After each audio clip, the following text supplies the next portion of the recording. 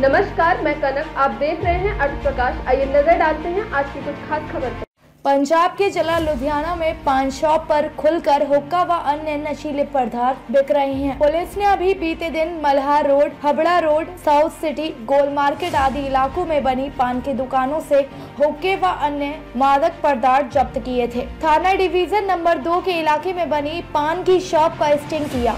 Sting में सरेआम खुलकर नशा बिकता दिखा। पान की दुकान के मालिक नाबालिग बच्चों तक को निकोटिन पदार्थ धड़ल्ले से दे रही हैं। नाबालिग बच्चों में इस समय हुक्के और ई सिगरेट का प्रचलन बढ़ गया है। थाना डिवीज़न नंबर दो के इलाका जनकपुरी में गुरुद्वारा साहिब के पास सूफिया चौक ईसा नगरी पुल, महाराज बैंड के सामने नीम वाला चौक, अमन चिकन नज़दीक सुहानी बिल्डिंग आदि इलाकों में बनी पान की दुकानों पर सरेआम नशा सप्लाई किया जा रहा है। वहीं बैजा मेन रोड स्थित चर्च के पास भी नशा सप्लाई करने वाले घूमते हैं। पान की दुकानों में ई सिगरेट खरीदने वाले युवा ज़्यादातर तेरह से सत्रह आयु के बीच के हैं। इलाके में नशा धड़ल्ले से बिक रहा है और पुलिस को सुध तक नहीं लग रही। सूत्रों के मुताबिक इन्हीं पान की दुकानों में युवकों को हर तरह का ड्रग्स मुहैया हो जाता है। ईसा नगरी जैसे इलाकों में कई लोगों ने घरों में नशा करवाने के अड्डे बना रखे हैं। शाम के समय ईसा नगरी पुल महाराजा बैज नज़दीक काफ़ी संख्या में युवक होका चिलम आदि लेने के लिए कतारों में खड़े रहते हैं। ताज़ा अपडेट्स व बड़ी खबरों के लिए सब्सक्राइब करें आज प्रकाश टीवी